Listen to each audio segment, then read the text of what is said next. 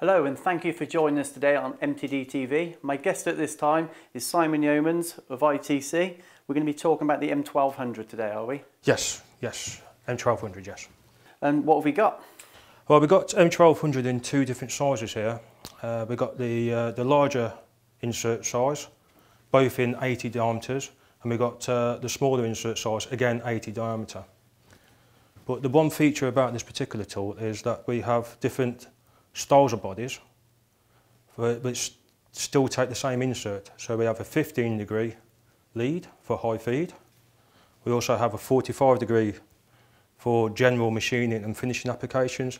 And we also have a 60 degree body for higher depth of cut. So we can actually suit the face mill for the uh, application or the machine or the material. And we've got that in both sizes? Yes, Yes, in the smaller insert, we have the same setup of the three different leading angles, yes. So presumably the the smaller insert, that's for maybe a BT30 or BT40 tapering machine with less power. The larger inserts for your, your high torque spindles or 50 taper. Absolutely, yes. So yeah, the smaller inserts aimed at the 40 taper machines. The larger insert is for your 50 tapers, deeper depth of cut, bigger feed tubes, and uh, the general heavier machining. And I notice, obviously, being a double-sided insert, they're seated in a, a negative pocket, yep. but we have got quite an aggressive positive insert. So does that mean we can adopt these on on stainless steels and heat resistant alloys? Yes, they are working well on stainless steels, actually. Yeah, they're very good. Uh, we actually uh, did an application not long ago. Fantastic results. Very, very, very good. So what data could we expect on a, a 316 stainless, for instance?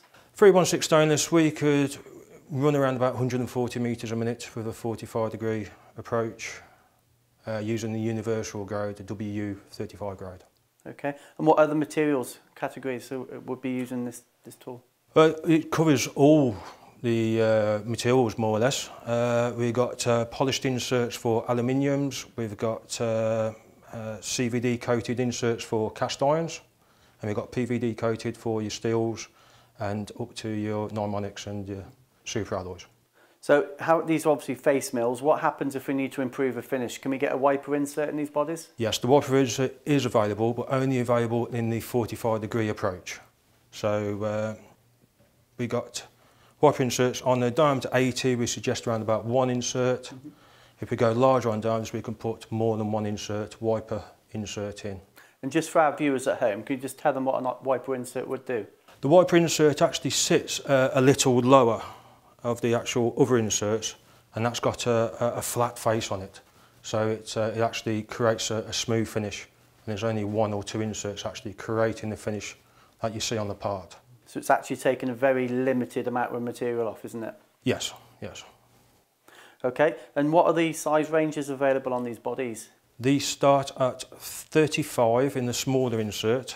We have the uh, cylindrical shank or bore type and we can go up to 160 uh, in this size. Then I've put to around about 315 in this size. Then we can all go go to a cartridge system, so the wheel's your oyster. Yeah, and these are all stocked by ITC here in the UK? Yes, yep, next day delivery.